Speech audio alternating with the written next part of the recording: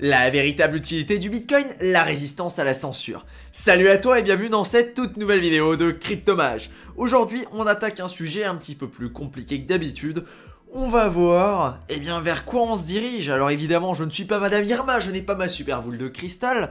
Non, non, non, non, ça se saurait sinon. Même si sur certains coups, quand même, on pourrait en douter, hein, j'avoue, j'avoue, j'avoue. Métis Tétis, euh, tout ça, tout ça, Solidly, voilà, voilà.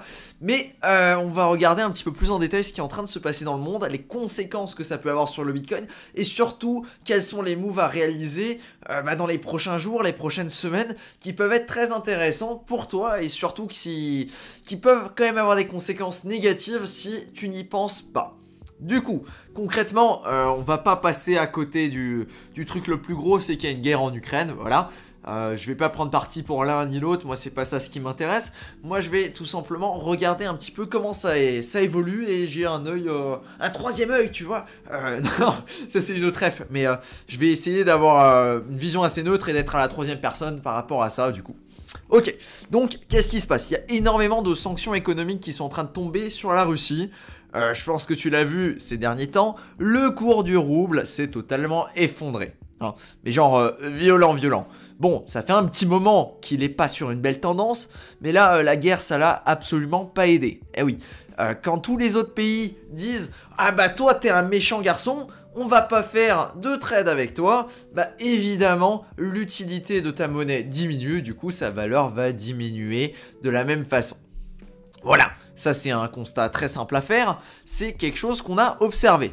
Du coup, on a de plus en plus de difficultés si on veut faire des transactions, soit avec l'Ukraine, soit avec la Russie, simplement parce que euh, bah, c'est la guerre les gars pour faire des transactions, c'est pas forcément si simple que ça. Et en plus, ils sont en train de regarder pour euh, bah, isoler complètement la Russie financièrement, c'est-à-dire désactiver le système SWIFT.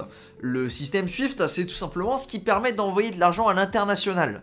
Ça veut dire que sans ça, c'est très très difficile d'envoyer de l'argent à l'international si on exclut les cryptos. Voilà. Chose que bah, nous, on va regarder dans la prochaine partie.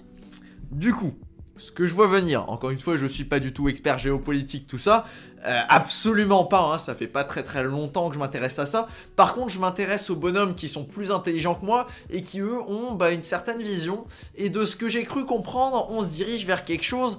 Euh... Ouais, je vais, je vais pas te le décrire, on va voir ça tout de suite, vers quelque chose de différent. C'est-à-dire qu'on va peut-être aller vers un monde qui va être beaucoup plus bipolaire que maintenant. C'est-à-dire qu'on aurait une partie Est et Ouest, du coup, Occident et je ne sais pas comment on dit l'autre. Ouais, je sais, je suis trop fort pour faire des vidéos. Du coup, Est-Ouest encore plus marqué, avec carrément des systèmes monétaires différents, mais qui ne rentrent pas en fait bah, en contact l'un avec l'autre, ou alors qui ne se mélangent pas vraiment. C'est-à-dire qu'à la place, là en ce moment, on a une monnaie qui, euh, bah, qui est qui est mondiale, c'est le dollar. Il y a quasiment tout le monde qui utilise le dollar. Là, on aurait deux monnaies je sais pas encore laquelle serait la seconde, sachant qu'on a le dollar, peut-être le yuan numérique ou autre chose. Mais on aurait du coup bah, un monde à gauche, un monde à droite.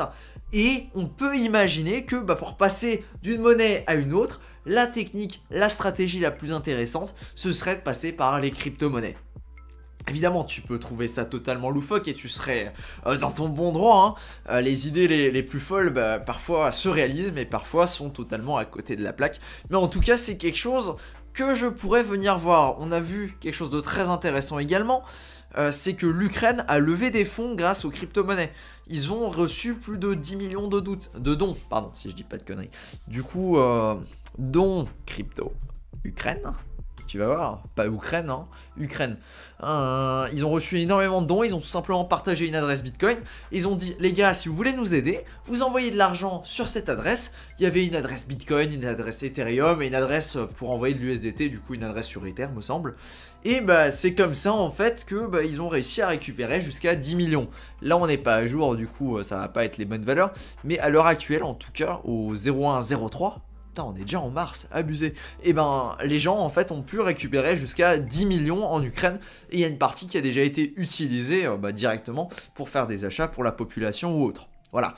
Du coup, on a quand même quelque chose qui fonctionne par temps de guerre, euh, qui permet de faire des trades, que personne, absolument personne ne peut bloquer. Bref, on est sur une tech très intéressante. Premier point. Deuxième point, on a vu ce qui s'est passé durant les deux premiers mois de l'année. On a eu des opposants politiques euh, au gouvernement du Canada, du coup des bonhommes qui ont commencé à bloquer des villes, à bloquer des ponts, ce genre de choses. Concrètement, le Canada a réagi en disant écoutez les gars, si vous continuez de faire les gogoles, je vais vous bloquer votre thune. Et ils l'ont fait ils ont bloqué l'accès au compte bancaire et euh, parfois même de façon euh, rétroactive, ce qui normalement n'est pas censé être possible, mais enfin passons sur, euh, sur cette chose qui ne me plaît absolument pas parce que c'est quelque chose qui, si ça se passe là-bas, ça pourrait très bien venir chez nous. Du coup, à quel moment on met la barre Ça voudrait dire que tu pourrais te faire bloquer juste parce que tu postes des tweets qui sont un petit peu douteux ou alors qui ne parlent pas, qui ne sont pas dans la doxa actuelle du gouvernement. Bref, chose qui ne me plaît absolument pas. Donc, qu'est-ce qui s'est passé? Le gouvernement a bloqué des comptes bancaires, mais plus que ça, il a essayé d'aller voir une société, euh, si je dis pas de bêtises, qui, bah, cette société-là, elle vend des... Euh, bah, c'est l'équivalent d'un ledger ou d'un trésor. Et euh, ils, sont allés les voir, ils leur ont fait un mail et ils leur ont dit, bah écoutez les gars, euh, j'ai vu que vous fournissez des moyens de, de, gérer de la crypto. Du coup, je veux vous bloquer les gens qui sont pas bien, qui sont pas gentils avec nous. Qu'est-ce qui s'est passé? Bah Nunchuk leur ont répondu Mais les gars, nous on ne peut pas, on n'a pas la main là-dessus. Écoutez, c'est un ledger, c'est un trésor, personne n'a la main là-dessus à part l'utilisateur. Du coup, bah un jour vous serez peut-être nos clients quand le bah, le USD canadien, ouais, je sais plus, je sais ce que c'est, le dollar canadien, voilà, quand le dollar canadien ne vaudra plus rien. Euh, après ce petit troll, les bonhommes se sont rendus compte qu'effectivement, bah, le gouvernement a réagi et s'est dit merde, on n'a pas la main là-dessus. Ok, voilà, voilà, du coup pour le moment, ça en est resté là de ce que je sais. Bon, ça nous amène à un autre point qui est très intéressant, c'est tout simplement que l'utilisateur qui va utiliser son argent directement sur la blockchain est souverain. C'est-à-dire qu'à aucun moment, quelqu'un peut venir dire non, ce bonhomme-là ne pourra plus jamais trader. Suffit qu'il envoie, enfin, que cette adresse-là ne pourra plus jamais trader. Suffit qu'il crée une autre, un autre valet, il envoie son argent, il fait son trade, fini, terminé. C'est totalement faisable, c'est quelque chose de génial. Le souci par contre, c'est qu'on risque de voir dans les prochains mois, voire même les prochaines semaines, des actions contre Binance, Coinbase, euh, Qcoin et tout, tout, tous ces, tous ces, Ouais, toutes ces grosses boîtes là qui vendent de la crypto. Et ces actions-là pourraient bah, être ciblées à cause des sanctions sur la Russie pour dire écoutez, Binance, vous êtes bien gentil, hein, mais moi j'aime pas trop la Russie. Du coup, vous essayez de bloquer bah, toutes les transactions qui passent par la Russie. Évidemment, il y a euh, des VPN, il y a d'autres choses qui existent. Mais pour moi, c'est quelque chose qui risque d'arriver et les demandes vont très probablement être faites. Est-ce que Binance Co vont répondre pour dire euh, non, non, non, les gars, non, vous avez rien compris à la crypto, on bloque absolument pas les comptes. Ou est-ce qu'ils vont dire, bah écoutez, malheureusement, légalement, vous nous tenez, euh, on est dans votre pays, du coup, on n'a pas trop de choix, bah on va faire ça. Dans tous les cas, c'est là que c'est très intéressant d'avoir ton argent sur une autre blockchain, euh, sur la blockchain directement. Je te parle pas parce que tu es peut-être un russe ou un ukrainien, non, je te parle ça tout simplement parce que à n'importe quel moment, s'ils font ça pour les russes et les ukrainiens qui sont en guerre, à n'importe quel moment, ils peuvent exactement faire la même sur toi, en France, pour aucune raison valable. Hein. Ça peut être parce que tu as exprimé un opinion à la con, ça peut être parce que tu as utilisé Twitter, tu as insulté un bonhomme ou autre. Mais euh, ne le fais pas, je sais pas bien d'insulter les gens sans raison. Voilà. Euh, non, mais plus sérieusement, c'est quelque chose qui peut arriver et tu peux être censuré directement par, euh, bah, par Binance parce que le gouvernement leur a dit écoutez, non, dans ce pays-là, on veut plus faire de transactions, du coup, arrêtez vos conneries, arrêtez de les accepter, sinon on vous bloque, on vous met des sanctions légales. Ce genre de choses. Du coup, la solution, c'est tout simplement de migrer ton argent sur la blockchain.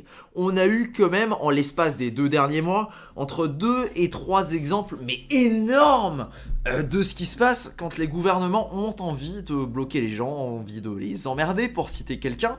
Et on s'est rendu compte que, bah, effectivement, la seule façon d'avoir ton argent en lieu sûr, ce n'est plus de l'avoir dans la banque, mais c'est tout simplement de l'avoir dans un ledger ou dans un trésor, directement sur la blockchain et utilisable. Tu vas me dire que les solutions de paiement ne sont pas encore 100% optimales. Je vais te répondre que, à mon avis, cette année, on va avoir des choses qui seront beaucoup plus intéressantes et qui permettront de payer directement en crypto. Premier exemple, bon c'est déjà quelque chose qui existe depuis un petit moment, mais c'était la carte crypto.com qui peut être un bon outil. Évidemment, tu vas pas payer du coup directement euh, en crypto, hein. tu vas plutôt faire une conversion, mais c'est quelque chose qui fonctionne déjà plutôt pas mal et qui te permet bah, d'être totalement libre et de pouvoir dépenser ton argent comme tu le veux à l'aide de cette carte. Voilà un exemple.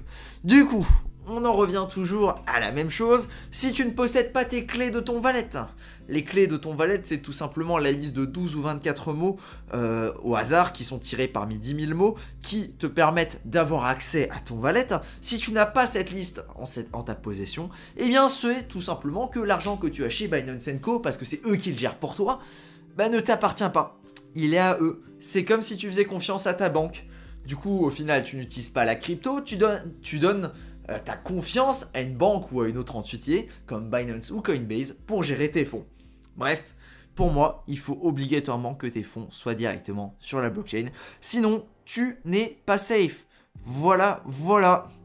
Évidemment, t'as pas besoin d'être aussi extrême que, euh, bah, que les gens qui sont là pour faire du trading, qui sont là pour faire des investissements ou quoi, mais avoir un minimum de fonds sur la blockchain au cas où d'un coup dur. Par exemple, tu dois te déplacer, tu dois quitter ton pays pour je ne sais quel problème, et eh ben tu peux toujours le faire, c'est toujours gérable et tu peux récupérer ton argent où tu veux, simplement parce que les clés de ton argent sont soit dans ta tête, soit sur un papier, soit sur euh, une grille en métal ou autre.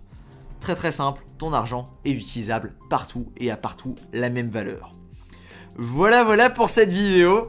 Euh, je pense qu'on est sorti peut-être un petit peu du cadre de la chaîne pour la vidéo, mais ce sont des sujets qui m'intéressent, ce sont des sujets que je considère comme très forts, du coup les gars n'hésitez surtout pas à faire ça, investissez dans un ledger, un trésor, et sur ce, on se retrouve, euh, bah ouais, on se retrouve demain pour une prochaine vidéo, allez, ciao